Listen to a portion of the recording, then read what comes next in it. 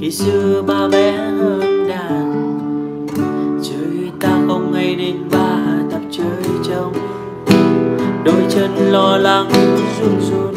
Nào mình giảng câu chuyện bốn nhịp nói tay ba đây đúng đúng hai ba bốn năm sáu bảy tám.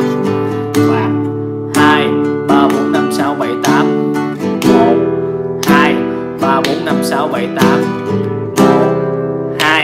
một hai ba bốn năm sáu bảy tám chuyển. Một, hai, nhịp chân nè, ba bốn năm sáu bảy tám chuyển.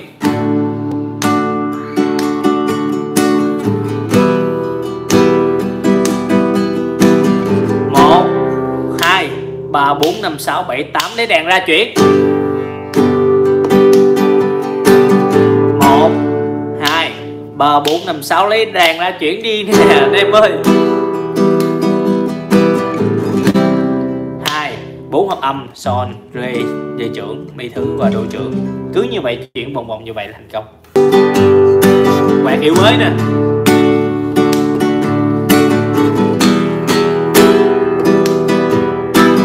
Bùng bùng xuống, lên xuống lên xuống lên, xuống xuống, lên. Chuyển mọi người thấy không khánh phải thuộc luôn những hợp âm này. Tới đâu là chuyển tới đó. Có nghĩa là một vòng hòa âm này khánh tập rất là nhiều lần cứ mỗi ngày 25 phút cái điều tập, thì chắc chắn tay mình phải lên rồi.